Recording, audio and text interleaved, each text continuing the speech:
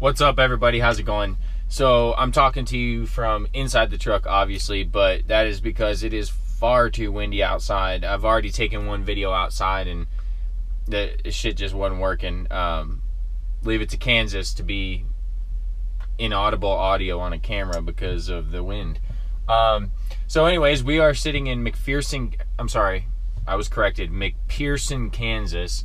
Um, at a company here that's receiving the two pieces that Joe and I have just brought up. So I think last week, um, last week I posted like a really short video of all of us lined up, and I said Joe and I were coming up. Uh, we were going to Galveston to load a couple pieces, so we loaded um, two halves to one whole part, if that makes any sense, of an injection molding machine. So it's like a top and bottom casing of. Uh, you know the whole thing is like 35 pieces but the main injection or the main molding portion is two two big pieces and that's what we have. So um, joe came down with the five axle. He got the piece that's um, 104000 and some change and then we got the piece that's 99500 pounds. So um, we loaded Monday in Galveston. I didn't film anything because uh, right off the bat we knew it was going to be a long day. We showed up at 8:30, uh, and there was like a payment issue, um, so the port wasn't going to release the pieces yet, so we couldn't even load. It was probably about 11:30 before they figured that whole situation out and put us over to the crane, and then it wasn't 3:30 before we got out of there. So or before we were loaded, and then we couldn't leave the port until just after five because of a curfew we would run into up in Houston. So, um, basically Monday was just a really long day. Wouldn't have been so much to to film, so I just kind of let it be. Um, then yesterday we were threatening threatening bad weather all day, so we didn't. I just didn't set the camera up. Um, anyways, what I can talk about right now is while we're waiting on the rigging crew, somebody has asked inevitably on almost every video something about permits. So, more specifically, I was just recently asked about my Texas permit. So, what I'm going to do is I'm going to show you what our permits look like and the routings and stuff. So, um, what's the best way to do this? Let's get bring you guys over here. All right, so basically what happens is when we request a permit through the state, we'll get a, uh, we, we send our request through to the um, permit department we use, or the uh, permit service that we use, and basically they submit everything to the state. Um, so this is what we'll get back. Now this is, um, I don't know why I said Texas, then I pulled out Oklahoma. Let's go in here, Texas. So, throw that down, throw this down. So Texas, this is uh, basically what uh, a Texas state permit looks like. Now this is a four-page permit. You don't want to see that. Um, actually, it doesn't really matter. So yeah, uh, permits aren't cheap, you know, and that's why it's not exactly cheap for us to move this stuff. I mean, heck, our Oklahoma permit. Where's this one? So that's just an idea right there. I mean, that was just two two permits, and that's uh, you know 900 bucks. So, anyways, your permit basically what it has is it goes through what your permitted uh, dimensions are. Now, most of you guys will probably not know, but if you are into trucking, you know that uh, your legal width is eight feet six inches. Your legal height is 13.6, so this means I'm permitted just to be legal. Uh, length there's not so each state has a different length law. Some states are ridiculous like 58 feet or 65 feet um, so we're almost all the way over. Uh, this ROH would be rear overhang so anything hanging over the tail of the trailer.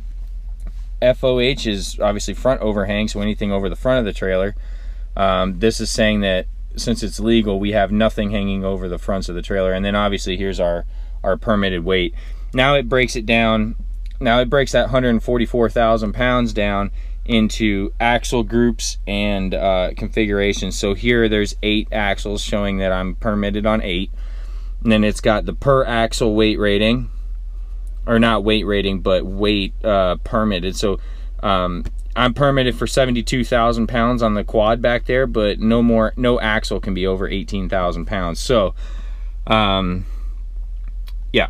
And then it goes into like your tire size and how many tires you have and, and all that stuff.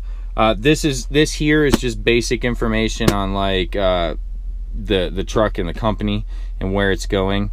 Um, then then it goes into route conditions. Uh, you know, this one has a Houston um, a Houston city restriction because we're over eight six wide.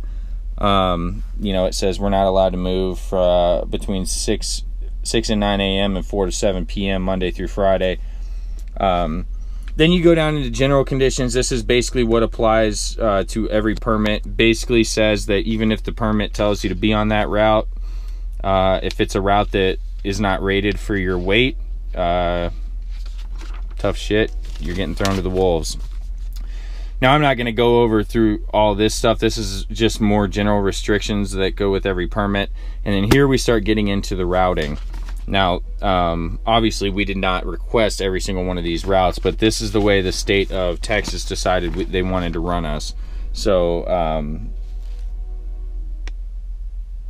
just kind of run through a couple of these here. You guys can rewind the video or whatever if you want to track how we went. Um,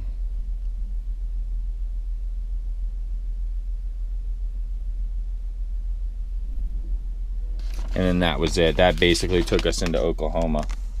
So that is that, and then I believe that's the last. Okay, so yeah, that's the last page of the, page of the Texas permit. Now, every state permit, though different, is going to be the same. You know, this one will have all the same information on it. It's just formatted differently because it's a different state. Um, you know, some states come with a map, which is useless, like Oklahoma. Uh, and here's our here was our route through Oklahoma. Um, it looks like a lot. Oklahoma wasn't actually that bad. Um, it's just, you know, it is what it is. It's just kind of the things that we go through.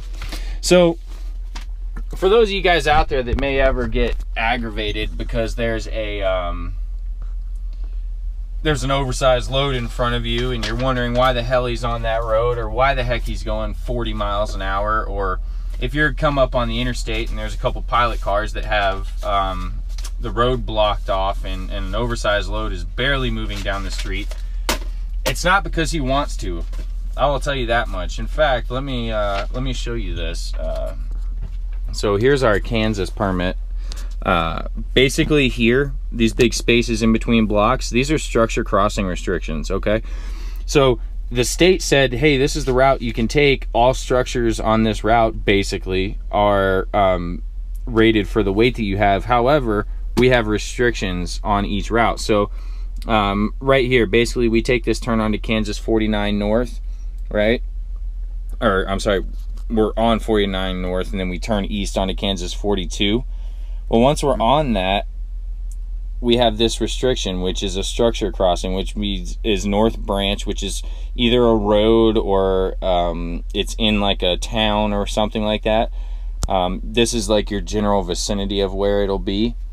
Um, this is saying that you're going over a bridge. So if I was tall or wide, this restriction might say under, as if I was going under an overpass or something. But this is an overpass.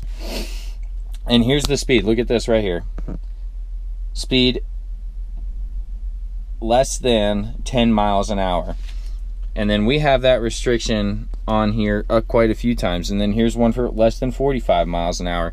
Now, mind you, these are all in um, 70 mile an hour zones. So there is a very good reason for everything that we do. And 99% of the times it's because the state is telling us that is what we're required to do. Um, trust me, no part of me like slowing down from 70 miles an hour to 10 miles an hour and then getting back up to 70. Not that we run 70 with this, but whatever speed it is that we're running. Um, you'll have other states like the state of Ohio. If you're permitted in the state of Ohio, your permit speed is 55 miles an hour. Same as New York, uh, unless you're on the turn the Thruway.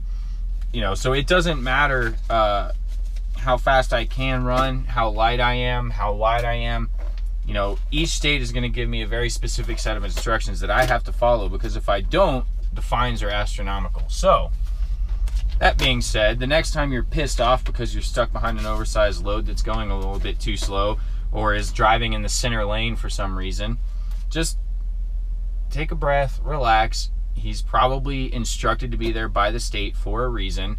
Um, and he'll be out of your way in a minute. He'll be out of your way much faster if you just be patient than you will if he ignores something and clips the load on the side of a bridge or plows through a bridge because he was going too fast. Um, just be patient. But I digress. So that is just uh, a little bit of information on permits. I know I said I would make a video on it. Um, it's kind of difficult to make a video on ordering permits because I'm on the phone and there's uh, some information in there that I can't give out, like addresses to customers and and, and stuff like that. So um, I'll probably won't make a uh, a full video on on just ordering a permit, but hopefully that'll answer a bunch of your questions. If if it doesn't, you know, you can always throw them in the comment section and I'll get to them. Uh, but yeah, so I'm gonna go back to waiting